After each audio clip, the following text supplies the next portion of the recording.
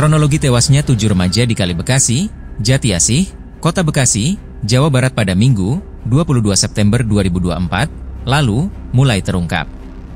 Berdasarkan keterangan dari salah satu keluarga korban, sekelompok remaja tersebut awalnya berkumpul pada Jumat, 20 September 2024, sore lalu untuk merayakan ulang tahun temannya. Awalnya, kelompok remaja tersebut berkumpul di Cikunir, Bekasi. Selanjutnya mereka bergerak dan nongkrong di sebuah rumah. Setelah hari semakin larut, mereka pun bergerak kembali ke dekat pabrik di sekitaran Kali Bekasi, tak jauh dari lokasi penemuan tujuh mayat remaja. Hingga pada Sabtu, 21 September 2024, kelompok remaja tersebut bertemu tim patroli kepolisian sekira pukul 3 waktu Indonesia Barat.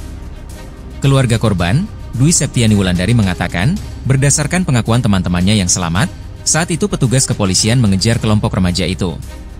Setelah itu, korban dan sebagian teman-temannya jatuh ke Kali Bekasi. Hal tersebut sejalan dengan yang diungkapkan pihak kepolisian.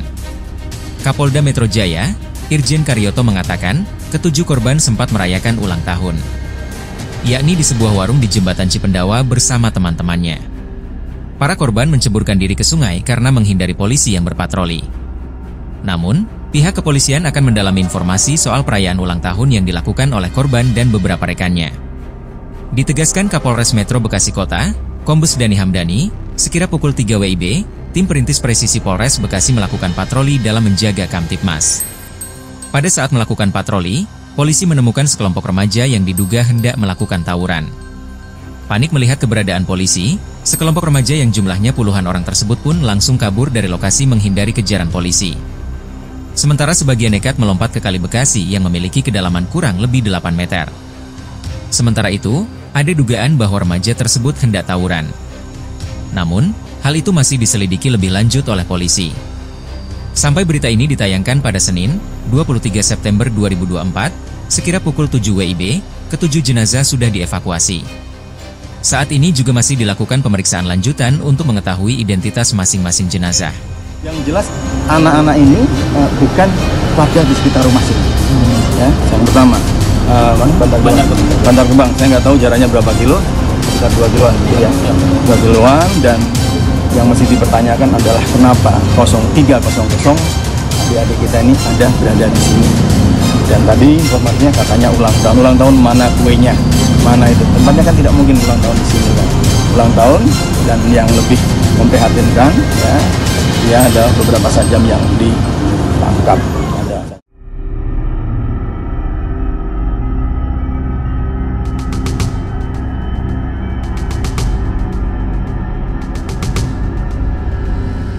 Proses identifikasi tujuh jenazah yang ditemukan di aliran Kali Bekasi, Jawa Barat masih berlangsung di Rumah Sakit, RS, Bayangkara Polri pada Senin, 23 September 2024. Dikutip dari tribunnews.com, sejauh ini, ada dua perwakilan keluarga yang membawa sejumlah data maupun benda yang berkaitan dengan identitas korban. Itu disampaikan oleh Kabit Pelayanan Kedokteran Polisi RS Bayangkara Polri, Kombes Pol Heri Wijatmoko.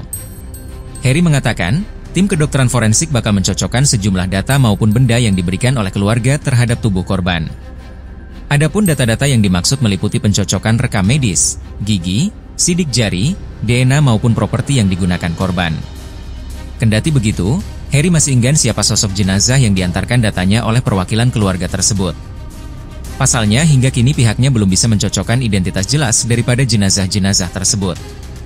Sementara itu, terkait kondisi jenazah tersebut, sebelumnya Heri menduga bahwa tujuh jenazah yang ditemukan mengapung di Kali Bekasi telah terendam air selama 24 jam.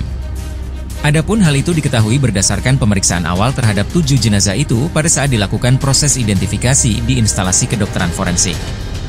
Selain itu, Heri juga menuturkan bahwa telah terdapat adanya tanda-tanda proses pembusukan pada tubuh ketujuh jenazah tersebut. Harry mengatakan, adanya proses pembusukan itu terjadi setelah ketujuh jenazah diangkat dari dalam air yang sebelumnya bersuhu rendah.